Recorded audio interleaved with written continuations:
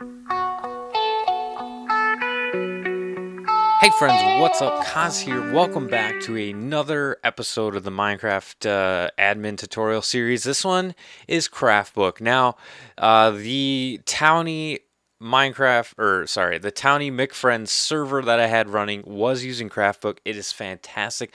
I only used like a quarter of it on the server. This plugin is huge. It does a ton of stuff to change kind of like the default gameplay in Minecraft without your users having any mods. It's really fantastic. It's actually brought to you by the creator of uh, World Guard and World Edit the SK89Q. I I don't know if that's supposed to be a word, but just um, a short list of the stuff that it does. Like you can have elevators, you can have gates and bridges and chairs, footprints and pipes and mobs. Um, it's it's unreal. There's been a lot of tutorials on it, and I'm not going to go over everything because this would be like two hours long. This is just the list of all the stuff that it does. A couple notes in here. First off, you need World Edit to run this. It uses stuff from World Edit. I'm not sure exactly what, but you need it to run Craftbook. Uh, it if you want to do a few other things in here, like let's say the chairs, you need to run this plugin as well, Proto uh, Protocol Lib library. It's just a library that it uses. Uh, so if you want to use chairs, which is a pretty cool little plugin, if you want to use what else we got in here that requires it, the footprints.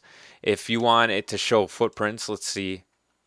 What does this look like? Oh yeah, so it'll show little footprints where people walk that's pretty cool. Now, I'm not going to go over any of the the permission nodes for this stuff because there is so many of them. So I would highly recommend just checking out the wiki. I'll link it in the description. And if you look at any one of these, like uh, elevators is one thing we will go over. Uh, this the permission nodes will all be listed in here. Like this guy makes really good plugins. You know, he's got World Guard and World Edit, which are the premier um, most used plugins that I know of. Uh, so you can do like uh, like for instance on mine um, trial or strangers, people who had just joined the server could not use elevators or create elevators. So these permission nodes were not available to them. Um, you can also uh, you know, put the elevators up to buttons. Let's hop over to the config file. I think that's about all I wanted to talk to on here. Yeah, there's like cauldrons, so you can make your own recipes. Uh, you can do cooking pots for uh, mass cooking, like custom mob drops, and so you could really like make a like a RPG kind of Minecraft server, it'd be really cool with this. this you can do tree lopper. This is probably one of the be the best well known ones. Is you can cut down an entire tree by just block, you know, cutting the bottom block, which is pretty cool. And um, let's hop over. Let's see. I got the config file here. Here it is. So you can disable any of this stuff in here. Um, this is where it's all listed. If you don't want to use circuits, because I don't think uh, we didn't use circuits or vehicles. Like I said, I didn't use a ton of stuff. So you can disable all of this, set it to false. You can then scroll down, um, change some some uh, circuits data. I never, like I said, I didn't really use circuits in mine, but you can enable or disable the mechanics AI. This will change it so you can like sneak by mobs if they don't um, if they don't have line of sight on you and you're not running, they won't chase you, which is kind of cool. You can um, disable the critical bow uh, or enable critical bow, so skeleton can get critical strikes on you as well. Um, you can enable or disable ammeter. This is kind of cool. This is a redstone feature. So if you're holding coal and you right click on a line of redstone, it will tell you what the signal strength is at that spot, which is pretty cool. Um, what else do we got here? Better leads. That's kind of fun. You can then le leash um, like hostile mobs. I think is what it is. Yeah, like that. Um, better physics.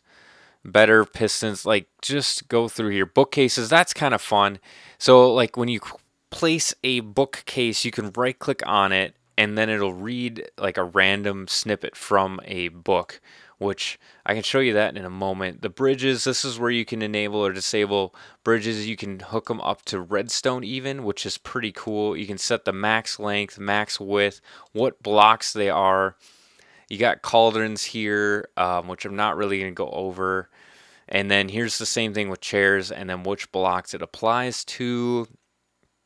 Uh, what else? You do chunk anchors. This is where uh, you can then anchor a chunk so it's always loaded, kind of like the spawn chunks. Um, let's see, what else? I think I'm not really going to go over more. Like, here's the doors, all that stuff. Just kind of scroll through here, enable, disable the stuff that you want. I think it's all pretty self explanatory. Uh, there's like snow piling, so snow will keep stacking up, which is kind of cool. You got a teleporter option, tree lopper. This is where you can enable this or disable that. Uh, by default, it's false. Got my vehicles. I'm okay. I'm just talking here.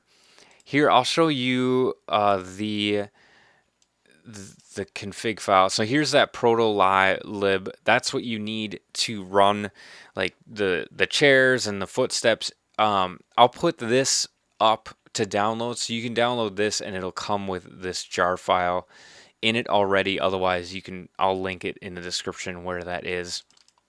So here's where like the books thing, this is where that is. So you it'll randomly select a line from this.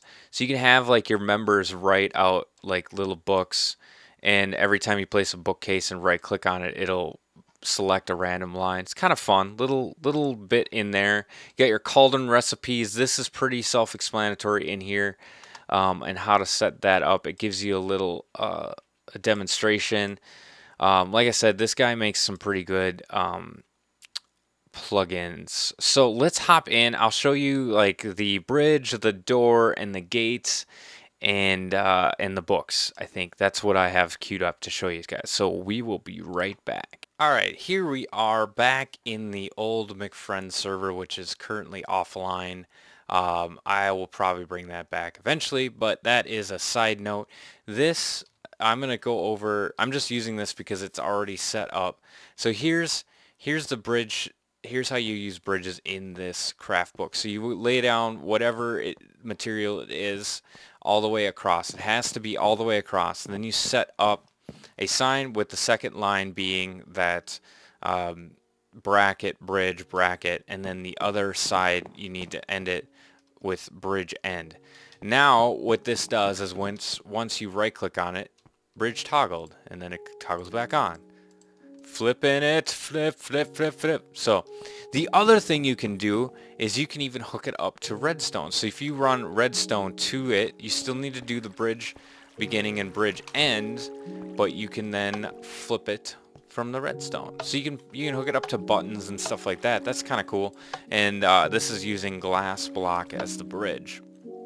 So that's bridge. Remember the bracket, bridge, bracket, and then the bracket, bridge, end bracket. It's pretty simple. I like the redstone. That's pretty cool. All right, so now here is the elevator. So you want to put the floor name. That's optional. You don't have to. And then uh, lift up, and then it'll teleport you to wherever the sign is. Now, the sign has to be vertical from whatever it is. So if we go down, um, yeah, so it needs to be vertically aligned. It doesn't matter how far, so we could even put uh, one on top of this. Let me pull up a sign, and then uh, we'll just do, do this. This is this looks terrible, and this is not what I was planning on doing, but whatever. And then uh, we'll go lift down again. So tops, lift down.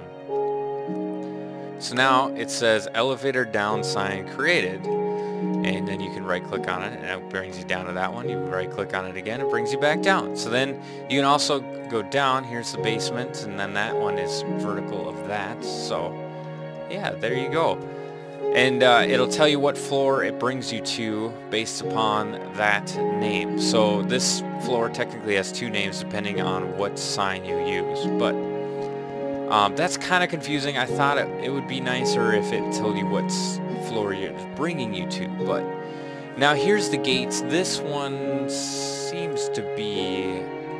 Oh, no, there you go. So basically you make you make your gate size. So fill it all in with fence post and then you put a sign next to it and you don't need to put anything else but that bracket gate bracket and then you right click on it and it'll toggle it close. I think this is the one that has the problems. Yeah.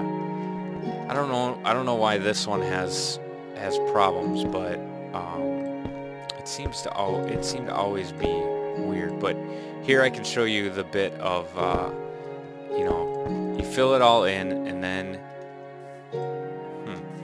not enough blocks to trigger mechanism. Maybe maybe I have this disabled that kind of block but there you go that's the gates and then you can also do walls I think is what this one is. Uh, door. So you could do the door um, with any kind of so this one's a little weird because you almost you almost have to hook it up to a redstone because it goes down so low so you could basically do this. Let's just break that and uh, door up. And then we'll fill all of this in because we got to do that to begin this this business. So um, and then we're gonna put the sign down here. And oops second line remember? Door up. Alright so now we got that. Now let's get some redstone and then we'll flip it so flip it flip it good there you go so that's a little tricky you kinda gotta go down two blocks at least but it could be cool. I mean, you could, um, let me see here. I mean, you could wire this over to the side and then up to this block uh, there.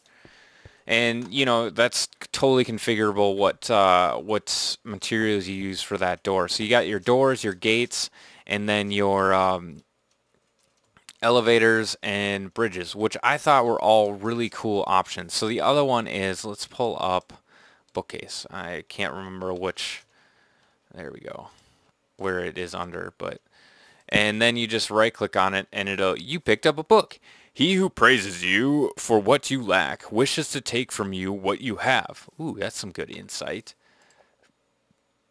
I think of a hero as someone who understands the degree of responsibility that comes with his freedom. So yeah, that's kind of the thing. Oh yeah, there was a bunch of bookcases in here. I forgot about this house that somebody built and then you could just like start spamming because there's so many of them. Yeah. anyway. Oh, that's so true. If you ever start feeling that you have the goofiest, cra craziest, most dysfunctional family in the world, all you have to do is go to a state fair because five minutes at the fair and you'll be going, you know, we're all right. We are dang near royalty. So that's it. Um, like I said, this is kind of like a really quick overview. It's pretty self-explanatory. Check the wiki for the permission nodes of anything that gets enabled. By default, um, uh, like I think for mine, I didn't really do anything just installed it and then set the permission nodes. I didn't enable or disable. So by default, like elevators, bridges, all that stuff's enabled but it looks like uh, mechanisms are enabled. So you can go ahead and disable that kind of stuff. Anything you don't want to use, go ahead and disable. And uh, this is a fun little plugin. Hopefully it helps you guys out. Um, I think it'd be great on like an RPG server, uh, some sort of adventure-esque server because you could do so much with like footsteps and crafting recipe, the cauldrons and uh, the bridges and elevators. The elevators alone are really great. I'll show you some of the some of the ways that we've used them in our in our town. Which, yeah, sorry this this isn't around anymore. I just couldn't run this server uh, publicly anymore. So, oh wait, I don't have. Oh yeah, I do. So this was my derpy looking house. I don't think it looked that great, but you can bring it. You know, I kind of wanted to show people Invisible Maze. Um, so that was that's how that's worked. And then um, to get to my my dungeon, which is all the way at the bottom, um, yeah, that's how that goes. And uh, yeah, so um, hmm, yeah, but hopefully you found it helpful. This is I didn't plan on showing you my my house on the main the server that's no longer. But hey, if you found this helpful, please leave a like, comment, and subscribe. If you have any questions, feel free to ask. I'll do my best to answer. If you have a suggestion of a tutorial that you'd like to see, I'm compiling a list. I'm starting to run low on the backlog, so feel free suggest it and I'll get it on the list and I'll go over it at some point. So hey, this is Koz from McFriends and as always, enjoy the game. Fireworks.